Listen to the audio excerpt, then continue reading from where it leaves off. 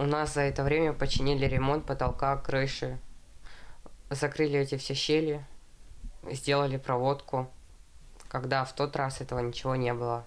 Теплее не стало, но все же крыша заменена, потолок точнее.